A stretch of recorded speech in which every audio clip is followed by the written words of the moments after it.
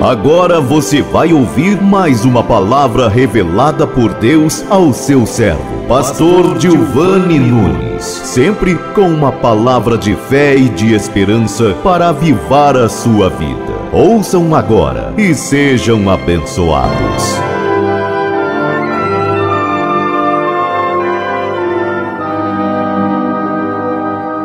Amados, eu estou com uma palavra muito profética.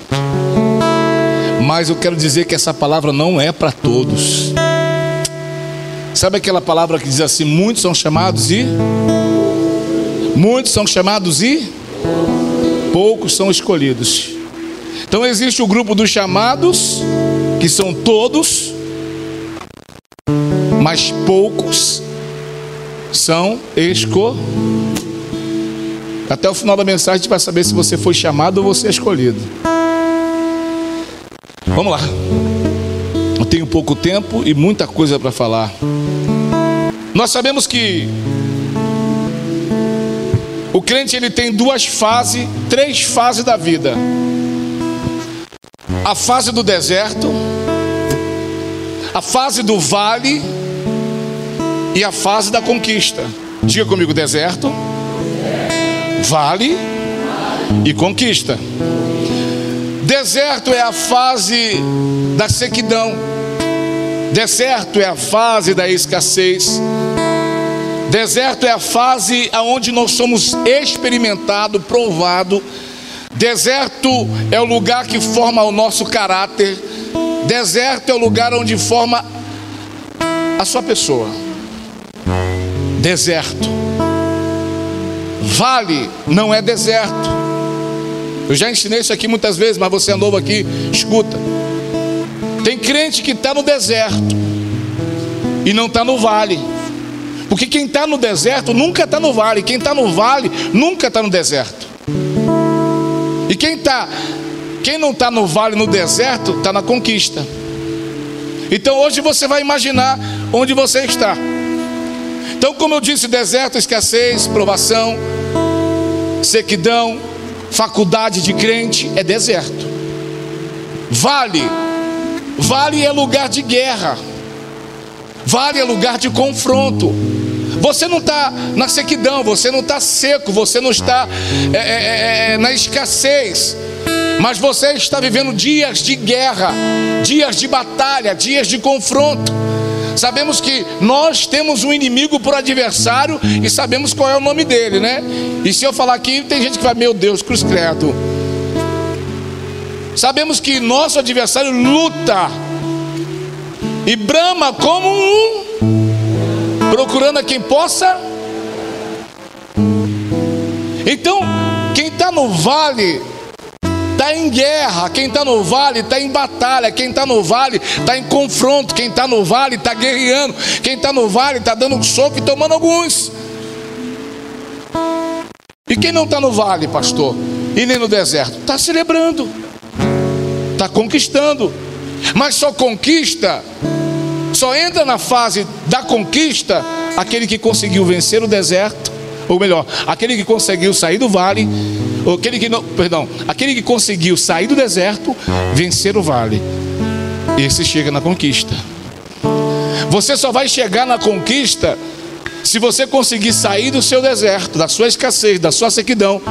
Se você conseguir vencer o seu vale, vencer os seus inimigos, vencer a batalha, vencer as suas lutas, aí você vai chegar no lugar da conquista. Eu quero ser profeta em dizer para você nesta noite que você vai sair do vale. Misericórdia. Vai para casa do jeito que você está derrotado, então. Uh, de mulher. Eu quero repetir pela última vez e você vai entender. Eu quero profetizar que você sai daqui hoje guerreando no seu vale, mas pronto para chegar à terra da sua conquista. Olha para alguém e diz: Você quer vitória ou quer derrota? Olha para a cara dessa pessoa do céu, vê se tem cara de derrota ou de vitória. Tem cara de derrota ou de vitória essa pessoa do seu lado. Olha para a cara dele. Tem cara, um diacho de mulher. Igual assim, ó. Tem cara de vitória ou de derrota? Vamos ver até o final então. Olha para o irmão do seu lado e assim: sentou numa igreja doida. aonde o pastor é doido. Fala assim, e as pessoas que ouvem ele fica doido também. Ou então nunca mais volta. Pessoal convidado aí, ou vocês voltam e fica de vez, ou nunca mais volta a esse lugar. Mas hoje vocês vão sair daqui vitoriosos em nome de Jesus. Eu quero falar sobre vitórias, mas eu quero falar antes da vitória, eu quero falar sobre as guerras no vale. Um dos maiores problemas do ser humano, do cristão, é a forma que ele se apresenta para a guerra. Vocês estão tocando muito alto, tá mais alto que eu. É suave, suave. Isso, suave, suave. Quase dormindo, suave. Um dos maiores problemas dos cristãos, do povo de Deus, é como ele se apresenta, como ele se apresenta para a guerra. Ou seja, de uma forma ou de outra você vai entrar em batalha. O Senhor Jesus disse um dia assim: Olha, eu quero dizer para vocês que em mim vocês tenham paz. Mas vou falar uma coisa para vocês. Além de tudo, tenha de bom ânimo. Porque vocês vão passar por provações. Mas tenha de bom ânimo, porque eu venci. E se você está nele, você também vai vencer. E eu comecei a analisar, como o Cris mostrou para a gente aqui, a vida de muito crente, a vida de muito cristão, a forma, a face de muito crente, muito cristão diante das pelejas diante das batalhas. Você olha para a pessoa, às vezes, é aquele desânimo, aquela desgraça. Sabe, a pessoa não te passa uma confiança, não te passa uma, uma motivação. Você está numa batalha, mas quer olhar para o lado e ver motivação em quem está do seu lado. Mas você olha para o lado e vê desgraça, vê derrota. E acaba você ficando também com face de derrota.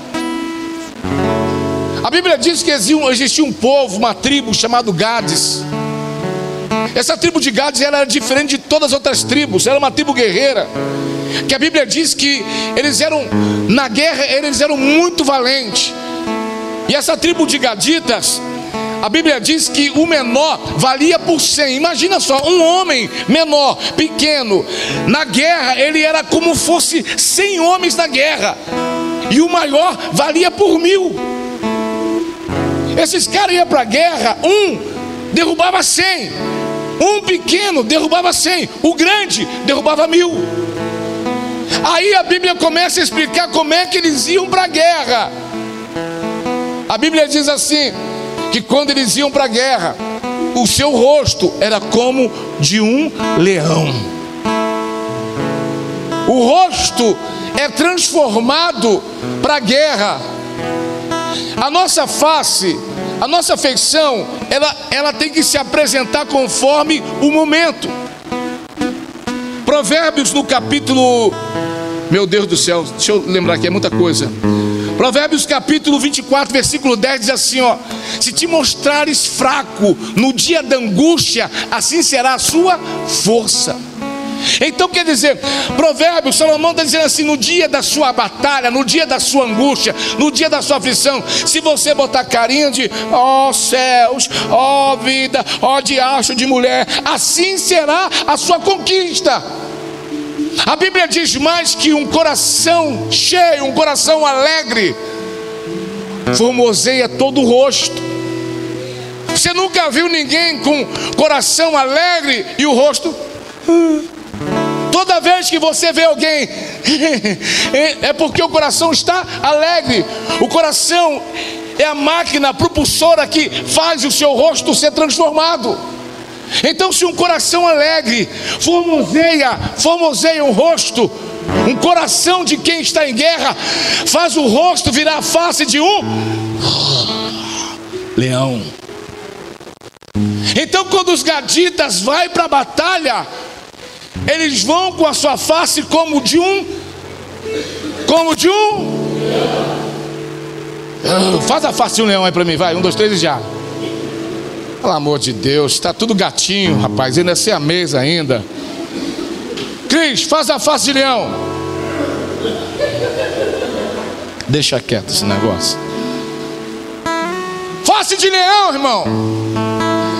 Ah! Por quê? só na face, só na face do leão, ele já põe o inimigo para tremer. Animal, quem é maior, o leão ou o elefante? No mundo animal, quem é maior, o leão ou o elefante?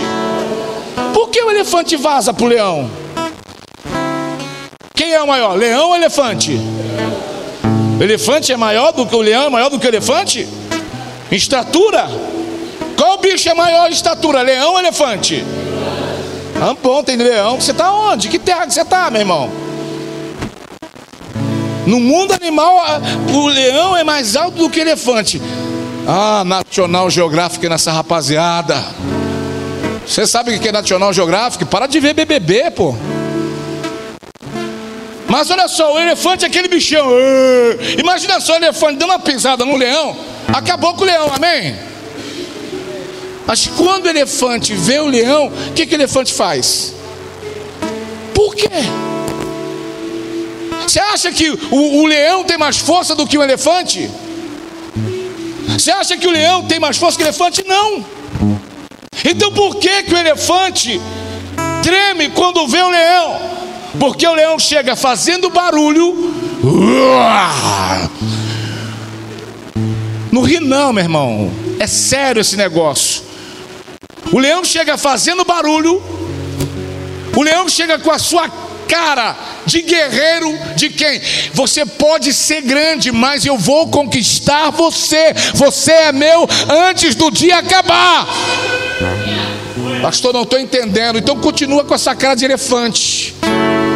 Porque hoje Deus quer levantar alguns leões aqui que vão olhar para suas batalhas, para os seus inimigos e vão dizer: Hoje eu saio daqui na unção do leão da tribo de Judá. Eu vou sair daqui para conquistar a minha vitória. Só quem é esse? Por favor, abra sua boca e diga: Sou eu. Aplaude Jesus. Deixa eu pedir algo. Não, não é comédia, agora é sério. Você vai dar um bramido como um bramido de um leão. Uau! Amém? Mas se você for covarde, medroso ou envergonhado, continua calado como um gatinho. Um, dois, três e já. Quase lá. Agora para ficar melhor. Frisa, frisa, frisa, frisa sua sobrancelha. Assim como você faz quando está bravo com seu marido, irmã, vai. Um, dois, três e já. Você olha para frente e vê o seu inimigo dizendo: Vou te devorar, vou te apagar, vou acabar com você. Você olha para ele e diz: Uau! Aí está com o microfone: Uau! Faz de conta que agora está na sua frente aquilo que tem tirado o seu sono, aquilo que tem perturbado os teus projetos, aquilo que tem acabado com a tua família, com você, aquilo que tem deixado você triste, aquilo que tem feito você chorar. Olha para isso agora e dá o um brado de um leão. Um, dois, três e. Ah, mexendo na tua prova, tu começa a ficar bom, né? Mexeu no teu vale, tu começa a ficar bom, né? É isso que eu estou falando. O nosso inimigo se chama quem? Qual o nome do nosso inimigo? Satanás, Lucifer, diabo, capeta, capiroto. Tem nome que você pode dar. E ele tem uma artimanha que só ele, o cavalo e o cão têm. Toda pessoa em batalha que mostra medo, diz cientificamente que os poros do seu corpo começam a se abrir e exalar um perfume com medo, o perfume do medo. O medo exala perfume. Então, para inibir o medo, o leão ele ah, então a pessoa não começa nem a sentir o cheiro, ele pode ver o bicho grande, mas ele já começa a pôr para correr. O cão sente o cheiro do seu medo. E quando você está com medo, ele sabe que é hora de atacar para destruir você. Mas eu quero ser profeta e dizer que hoje o teu medo não vai ter lugar. Você pode às vezes até estar tá com medo das coisas não dar certo e de você não conquistar. Mas Deus manda eu dizer para esse povo de vitória hoje, de vitoriosos aqui hoje, que foram seletos por Deus para estar aqui hoje, que quando você começar a dar os seus brados, o inimigo não vai nem sentir o cheiro do teu medo, por quê? Porque ele vai estar longe de você dizendo: "Ela voltou mudada, ele voltou mudada". Aquele culto lá transformou alguma coisa nele. Ele voltou com raiva, voltou com sangue nos olhos. Ela não quer mais dizer que é derrotado. Ele começou a dizer que agora é vitorioso, ele começou a dizer que vai vencer, ele começou a dizer que pode todas as coisas naquele que fortalece ele. Ele voltou, ela voltou cheio da presença do Todo-Poder. Ei, ela voltou carregada da unção do leão da tribo de Judá. Só quem é esse, pelo amor de Deus? Dê um brado do leão.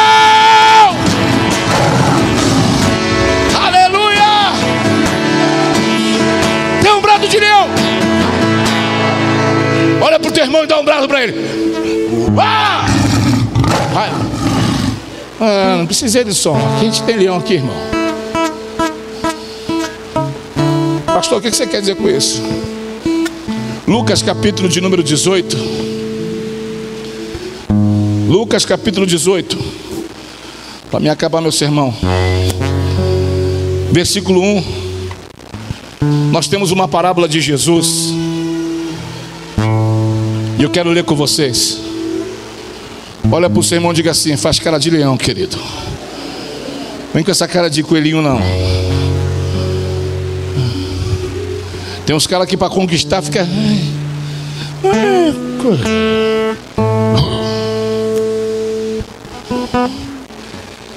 Diz assim um texto. Contou-lhes também uma parábola sobre o dever de orar sempre e nunca e nunca nunca dizendo havia em uma certa cidade um juiz que não temia a Deus nem respeitava os homens. Havia também naquela mesma cidade uma viúva que ia ter com ele dizendo faz-me justiça contra o meu adversário por algum tempo não quis atendê-la, mas depois disse consigo ainda: que não temo a Deus nem respeito os homens, mas todavia, como, como esta viúva me incomoda, hei de lhe fazer justiça para que ela não continue a vir me molestar. Pronto. Aqui está. Eu amo pregar sobre as viúvas. As viúvas são poderosas da Bíblia. É a viúva que, que, que tinha farinha na panela, às vezes na botija, ficou três anos comendo de graça. A outra viúva que só tinha um pouquinho de óleo na botija falou que o profeta só tem óleo na botija, meu marido morreu, está devendo, faz alguma coisa, virou empresária. A outra viúva que chegou no culto com duas moedas, ó, só tem duas moedas só de oferta, é tudo que eu tenho, vou dar o meu melhor. Pum! Saiu rica daquele lugar. E tem essa viúva doida. O versículo 2 dessa história, se puder ajudar a gente no telão, o versículo 2 vai falar do personagem desse, desse, dessa parábola, de um juiz. Versículo 2 vai apresentar um juiz para ó, dizendo assim: ó, havia em certa cidade um juiz que não temia Deus e nem respeitava os. Jesus, no versículo 12, está apresentando um juiz que não tinha medo de Deus, não tinha medo de homem nenhum. O cara era o bicho.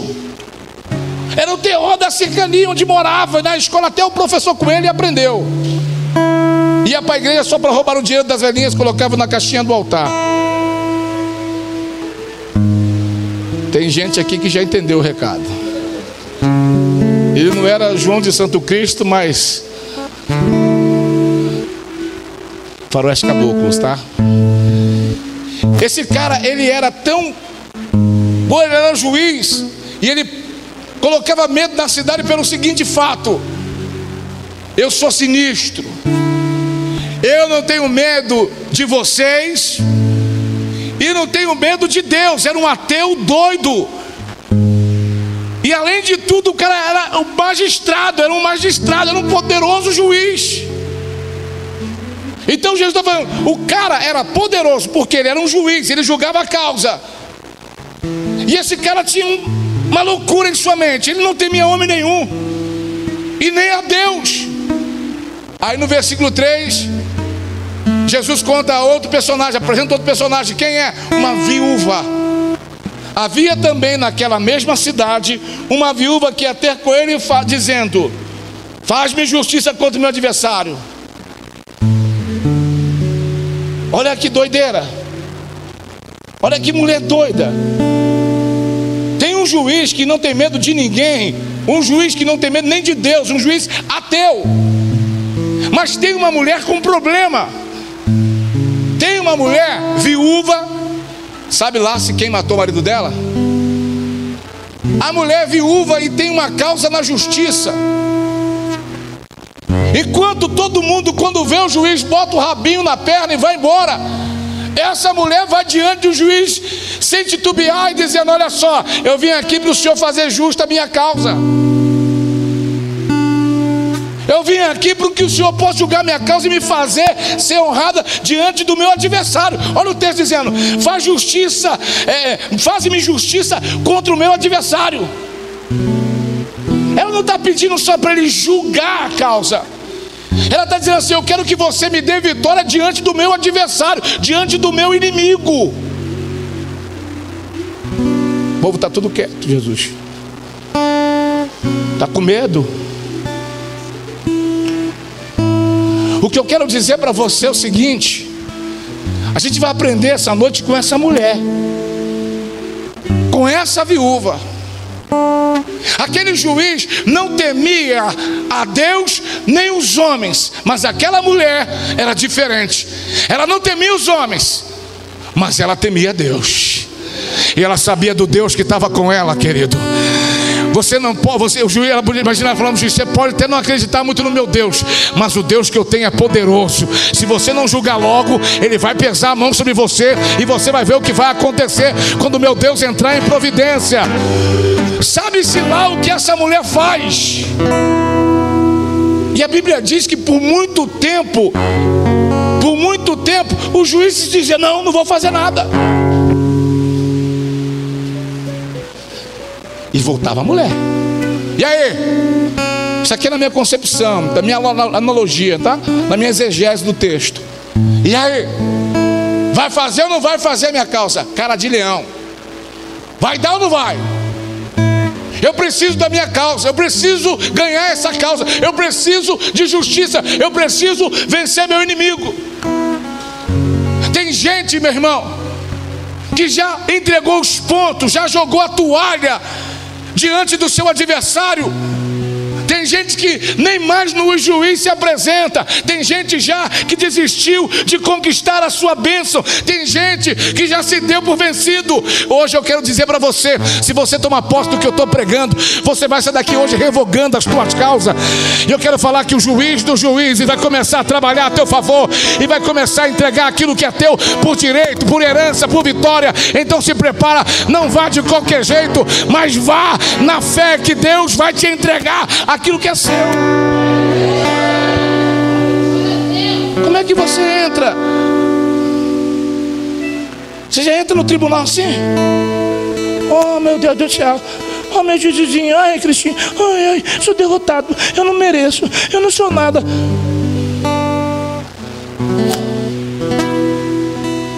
Entra na presença do seu juiz, dizendo: eu chamo a existência a minha vitória aqui agora. Ei, ei, ei, ei, dona derrota, ó, oh, já pode pegar sua mala, pegar sua bagagem. Eu sei que eu estou em guerra, eu estou em batalha, e tudo que está acontecendo aqui é uma batalha, mas eu vou sair vitorioso, vitoriosa, seja você desta batalha. Não, não, não, você não está entendendo. Eu estou dizendo que Deus está dizendo para você. Se você entender o Deus que é contigo, você não vai mais sair derrotado de todas as situações. Vai ter situações, claro, que uma guerra ou outra você vai perder, mas no final a batalha você vai conquistar. Está entendendo? Não, não, peraí, peraí. Deixa eu desenhar para você. Ela ia um dia, Herbert, não dava nada, ela estava tudo bem, mas não entregava, perdia aquela batalha. Mas calma, eu vou voltar de novo. E outro dia aí, vai entregar minha causa? Não vai, não, vai, não, não, não, não. hoje não tá bom então. Outro dia ela volta, até a hora que ela dizia aí, vai não vai? O juiz fala assim: olha, eu não aguento mais essa mulher braba, essa mulher com cara de leão, essa mulher vem pra cá, essa mulher não tem medo de mim, dá a causa para ela, entrega a vitória para ela, porque ela não desistiu, ela não desanimou, ela não parou, ela clamou. Não, não, não, não, não, não. não. Ei, ei, a vitória é para quem insiste. Pastor, eu vim buscar minha bênção. Sai daqui com ela na mão. Mas está difícil. Eu não vou merecer. Eu não vou conquistar. Toma vergonha na cara que você tem um Deus que te dá vitória. Por maior que esteja a tua batalha, Deus te trouxe hoje para ouvir que se você insistir, Ele vai te dar vitória. Você veio aqui hoje para ouvir esse pregador dizer, por intermédio da boca de Deus, ser boca de Deus para você dizer que Deus está doido para te entregar a tua vitória. Mas o que Deus quer é que você tome coragem, sai dessa comodidade e comece a batalhar, botar a cara de leão, ir para dentro do inimigo e acreditar que a vitória é tua, a vitória é tua, a vitória é tua, a vitória, ei, a vitória é tua. Não, não, só os vitoriosos, diga: a vitória é minha. Não, não, não, para o inferno ouvir, a vitória é minha. Não, não, não, não, não, mais forte, a vitória é minha. O diabo está dizendo assim: ela nem fez carinha de leão, nem fez carinha de leão. Sabia que a sua cara, conforme ela é, ela traz as ações do seu inimigo? Faz cara de coitadinha. Teu inimigo não tem dó de você, ele vai te atropelar. E não adianta também ir para Deus com cara de coitadinho, não. Porque Deus não tem sentimentos emocionais. Pastor, então o que, que Deus faz? Ele é justiça. Ele julga a causa. Imagina Deus, ah, eu estou sentindo que. Não, Deus não tem isso. Deus, a Bíblia diz que Deus é justo. Se tu fez por onde, recebe. Se tu não fez por onde, perde. Então Deus só dá a causa para aquele que faz por onde receber a causa.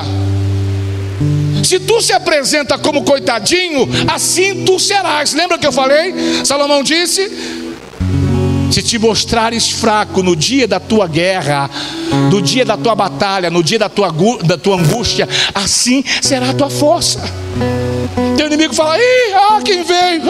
vou detonar, vou detonar. Agora você está numa peleja, na maior dificuldade. Bota a cara de leão e diz: Não, não vou desistir, não, isso é meu é meu por direito, é meu por herança.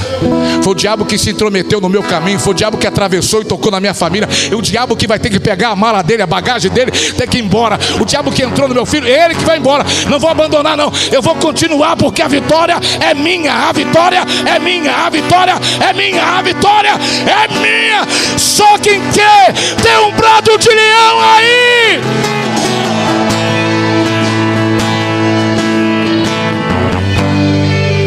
Te ensinar o brado do leão. Na Nova Zelândia, na Oceania, geograficamente falando, existe um esporte praticado por eles chamado rugby. Quem já ouviu falar de rugby? Rugby é uma mistura de futebol americano com futebol normal e lá é legal o seguinte: esse esporte é praticado só nego Massaranduba, tá ligado?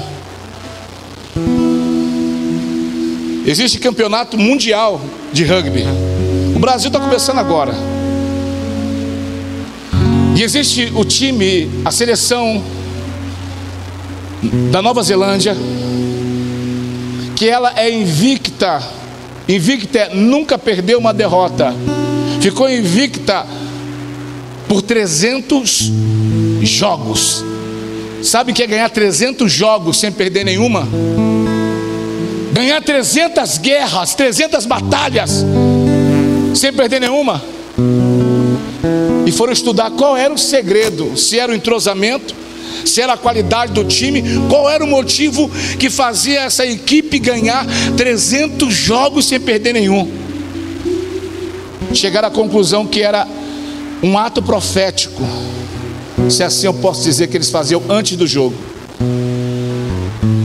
O vídeo está aí para mim? Apaga a luz da igreja. Isso se chama. Peraí, isso não põe ainda não. Você vai ver um vídeo agora que essa equipe da Nova Zelândia faz todas as vezes que vai entrar em campo, entra em campo eles e diante deles o adversário que vão enfrentar. E eles fazem uma apresentação chamada Haka. H-A-K-A, Haka. E eles fazem uma apresentação. Você vai ver o que acontece. Põe para nós.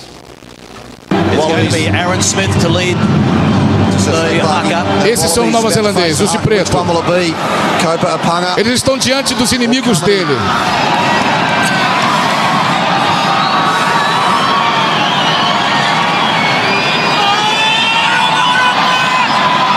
Começou.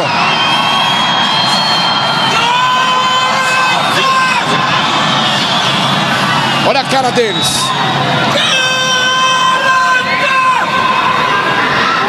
Olha como eles faz. Eles estão olhando para o adversário.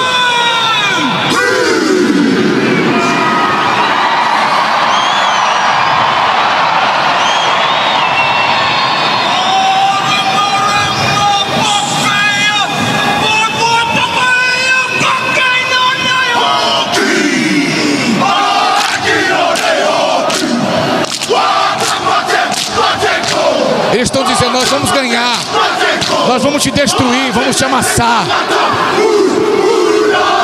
Olha a cara deles.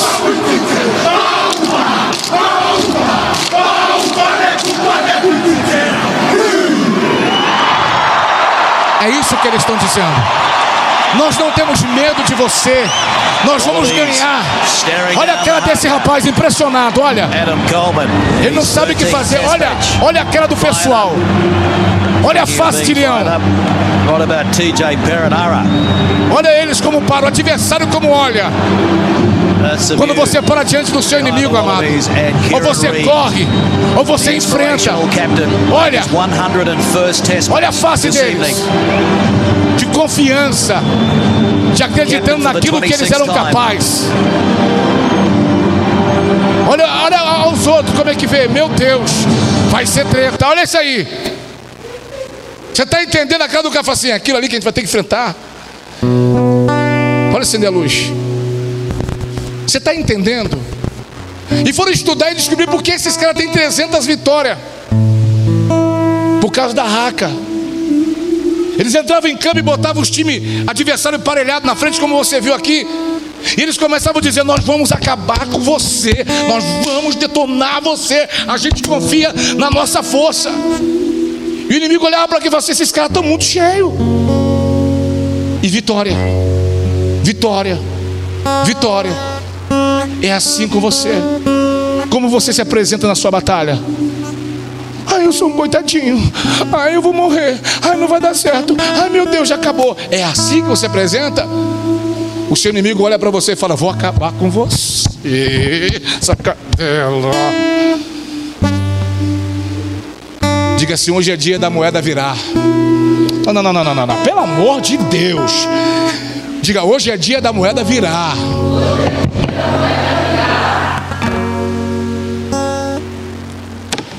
Fala, hoje é dia de dar o troco.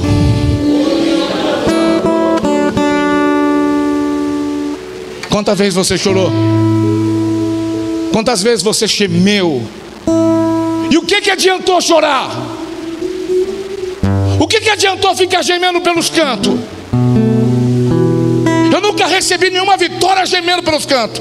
Pastor está dizendo que a gente não tem que gemer, gemer para Deus no canto com Deus, dizendo: Deus, eu te amo, eu te adoro, eu confio no Senhor. Mas diante do meu inimigo, meu inimigo não pode ver pontos fracos.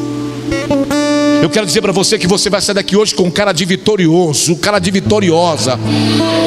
Deus está ministrando uma unção de gadita em você, uma unção de guerreiro, uma unção de alguém que não vai abaixar a cabeça diante da dificuldade, da circunstância que você está vivendo, mas de alguém que vai encarar o problema e vai dizer: Eu vou acabar com você, eu vou detonar você, eu vou destruir você, porque maior é aquele que está comigo, só que recebe isso, se expressa.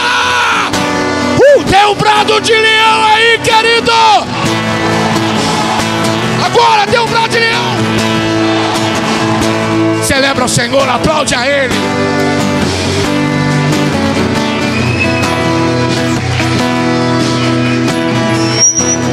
Fica de pé. Olha para o teu irmão com cara de leão. Vai sair com cara de derrota hoje? Eu não estou dizendo para você chegar lá para o teu irmão e falar, agora eu estou cheio do poder. Porque a Bíblia diz que o nosso inimigo não é carne nem sangue. A nossa luta não é contra a carne nem contra o sangue, mas sim contra principados e potestades. Chega de dizer que você é um derrotado. Põe uma palavra nova na sua boca. A partir de hoje começa a dizer: Eu sou mais que vencedor.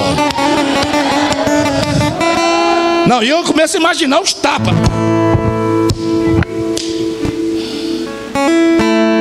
Ah! Um, dois, três e. Bate na perna aí, irmão. Um, dois, três e. Dá para ouvir o barulho do seu pé bater no chão? Um, dois, três e. Opa! Um, dois, três e. Um, dois, três e. Um, dois, três e. Um, dois, três e. Um, dois, três e. Um, dois, três e. vizinho vai falar assim: o que está acontecendo lá? O exército de Deus está se levantando para vencer a batalha. Vizinho vai falar: o que está acontecendo com aquela igreja? O povo de Deus cansou de sofrer derrota. Ah.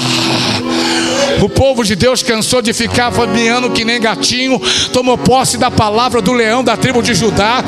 O povo de Deus está saindo de lá como leão bramando, como leão guerreiro, como leão do Senhor. Eu quero profetizar que dentro de uma semana Deus está entregando a sua vitória, a sua vitória, a sua vitória. Só quem recebe se expressa para adorar. Oh!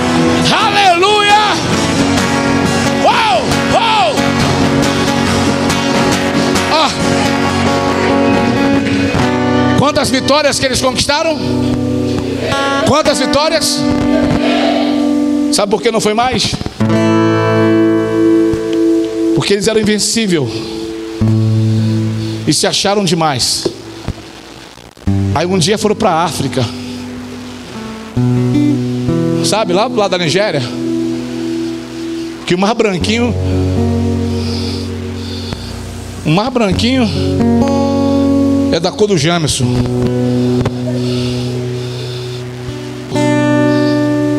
E esses caras com 300 vitórias foram para a Nigéria enfrentar a seleção da Nigéria. E lá eles montaram o hacker. Os negão da Nigéria foram para cima deles, fizeram um círculo em volta dele e falou assim: já era. Vocês acham que vocês podem? A gente vai acabar com vocês aqui dentro. Porque todas as vezes que eles faziam isso, os inimigos ficavam assim. Ó. Mas agora chegou a vez de um povo que eles não conheciam olhar para ele e falar assim: até que vocês achavam que podiam, mas agora os negão vai acabar com vocês aqui dentro. E os negão da Nigéria acabou com esses caras. Onde foi o ganho jogo? No terreno psicológico. Para terminar minha mensagem, a sua maior derrota está aqui dentro e aqui dentro. Se você vencer aqui e vencer aqui, você é mais que vencedor. Então sai daqui, aqui e aqui, dizendo para você mesmo: É minha. É meu. Não, não, não, não, não, não. É meu. Está com os dias e hora contada. Porque vai chegar a hora que o juiz vai dizer: dá a causa dessa mulher e dá a causa desse cara aí. Por quê? Esse cara mostrou que não tem medo, não, rapaz. Os outros têm medo, os outros têm medo, mas ele mostrou que não tem medo, não. Tá no vale, tá na batalha, tá na peleja, mas tá vindo para cima, tá no ha! E hoje eu quero profetizar que a unção de um guerreiro está sendo impregnada na sua jornada e na sua vida. Na minha vida e na sua vida hoje, Deus está derramando a unção de um guerreiro. Quem recebe isso, diga amém. Olha para o teu inimigo com cara de leão.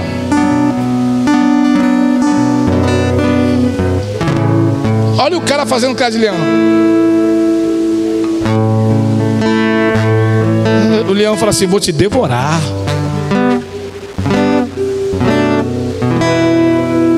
Para terminar? Para terminar mesmo? Visiona na sua frente aí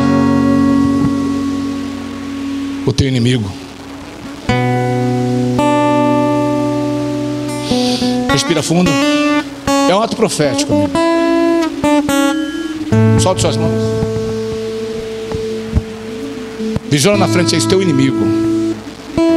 O quanto ele tem feito você chorar. Põe na sua frente aí o que ele já tirou de você. Quantas vezes você comeu na mão dele sem saber Quantas lágrimas você derramou sem querer. Chegou o momento de dizer para ele: acabou.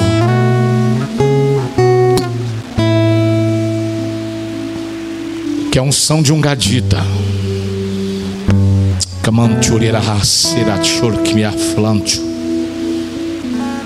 Que é a unção de um gadita. Venha descer sobre você agora.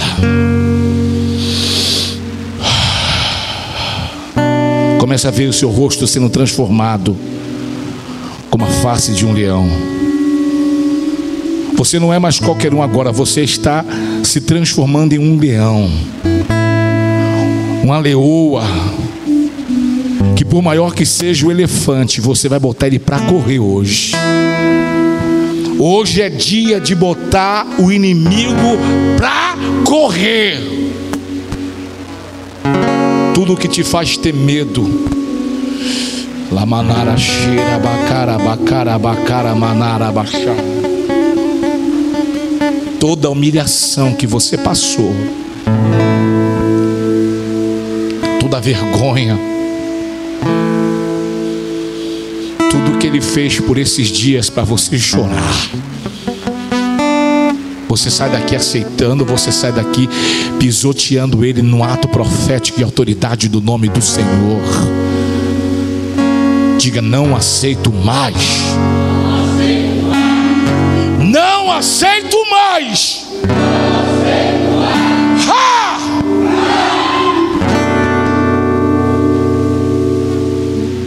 Levante os braços como de um guerreiro. Olha os meus braços, olha os meus braços.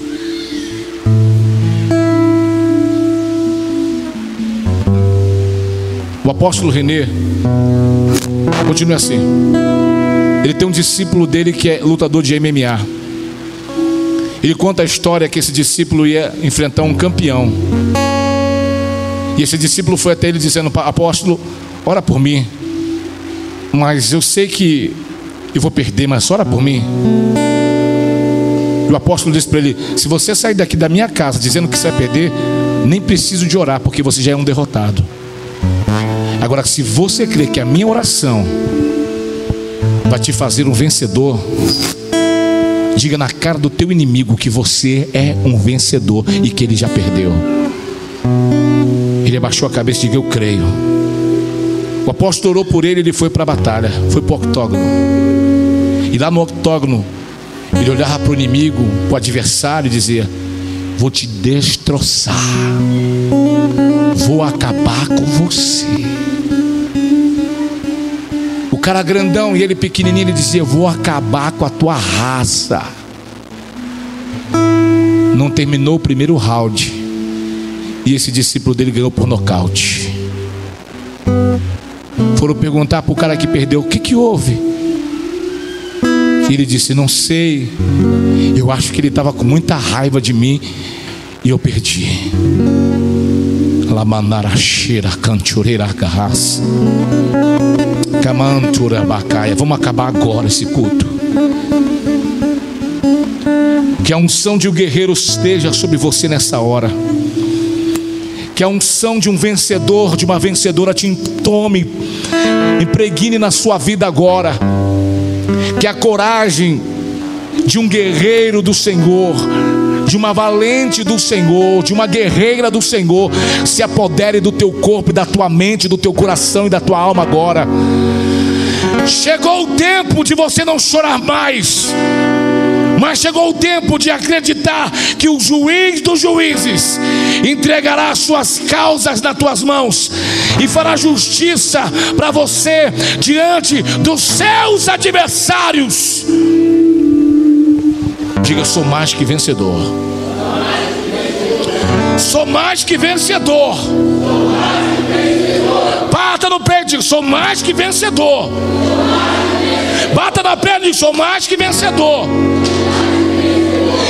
Ha! Perna direita. Um, dois, três e. Perna esquerda. Braço direito. Braço esquerdo. Braço direito. Braço esquerdo. Braço direito.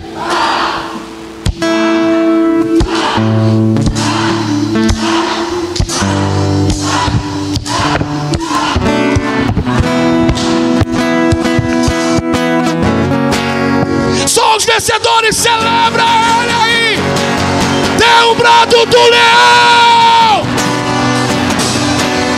Deu um brado de leão, deu um brado de leão, deu um brado de leão. Oh! Aplaude ao Senhor. Oh,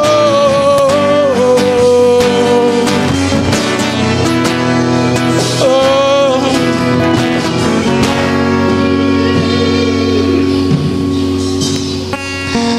Eu navegarei no oceano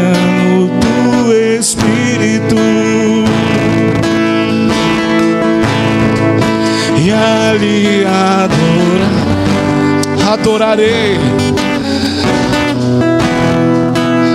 ao Deus do meu. Só os guerreiros que venceram hoje nessa noite, clame mais alto e diga: Eu navegar. Navega aí comigo, querido. Abra sua boca como vencedor. Oceano do Espírito. E ali adorarei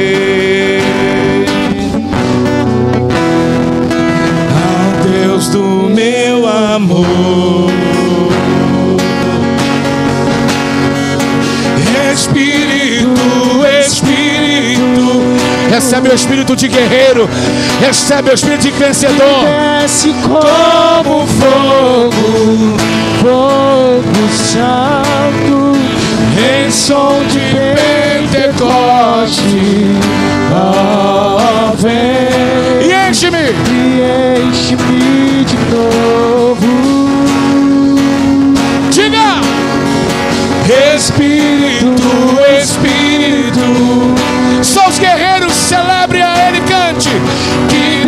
Desce como fogo, fogo santo, em som de Pentecoste, ó vem e enche-me de novo.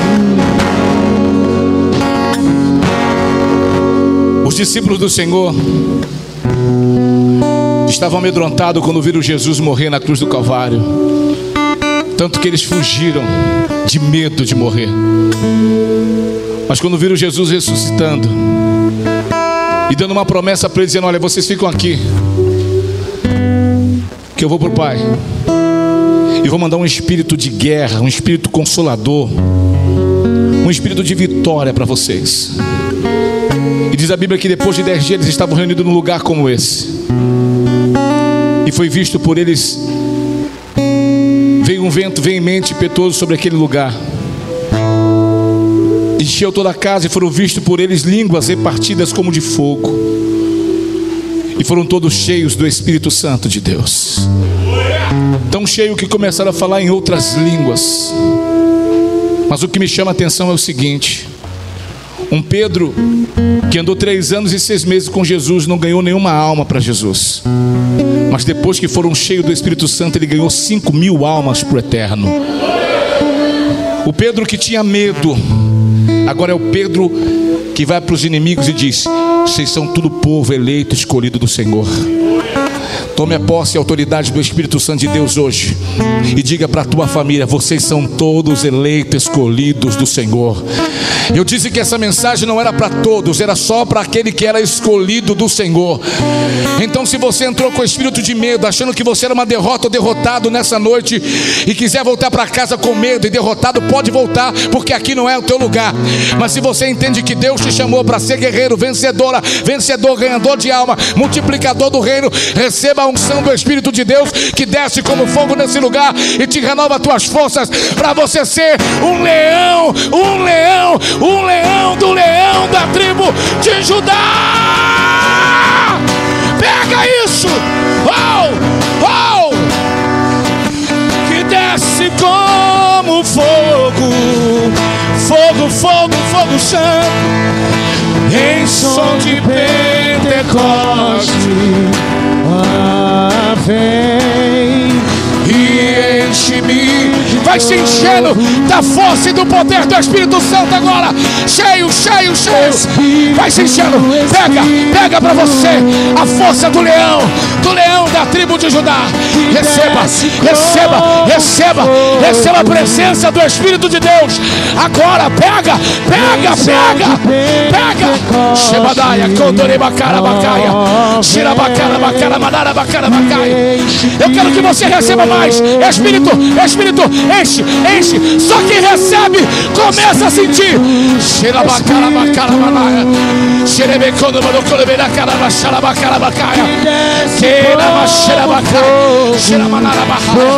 Receba, receba, receba, receba, receba, receba, receba a presença.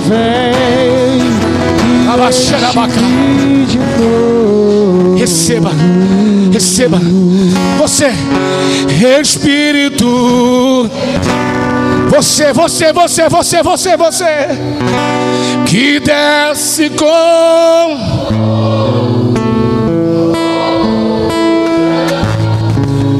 Em som de Pentecoste.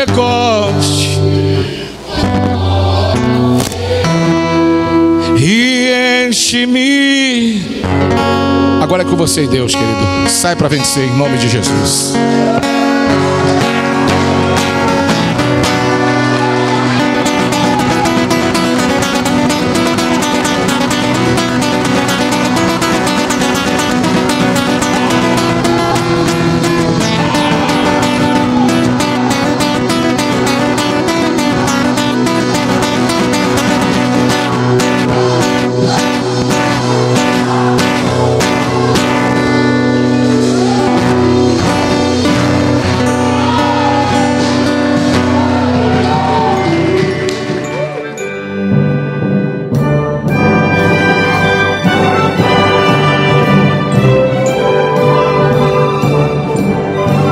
Você acabou de ouvir mais uma palavra revelada por Deus ao seu servo. Pastor Giovanni Nunes. Ouça essa e outras mensagens no site ou no aplicativo da nossa rádio. Siga o Pastor Giovanni Nunes nas redes sociais, pelo Facebook, Instagram, Twitter ou pelo WhatsApp.